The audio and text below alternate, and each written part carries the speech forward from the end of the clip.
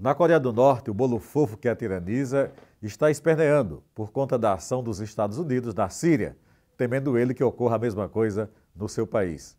Mas o bolo fofo que tiraniza a Coreia não passa de um bufão.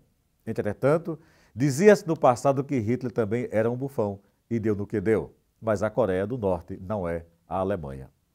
Nos Estados Unidos, a empresa United Airlines teve a sua cotação baixíssima nos últimos dias por conta de um caso que sucedeu quando se tirou a pulso um passageiro por conta do overbooking que a empresa cometeu. Ora, a queda das ações da empresa reflete exatamente o comportamento dos passageiros, do público em geral, em não aceitar o que aconteceu na empresa.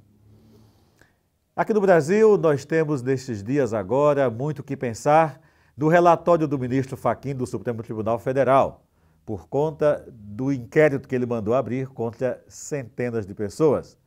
Inicialmente, nós sabemos que tudo não passa de um inquérito inicial, mas aqui em Sergipe, dois foram citados: Maria do Carmo Nascimento Alves e Eduardo Amorim. Entretanto, ninguém deve chorar, ninguém deve sorrir. Vamos aguardar os acontecimentos.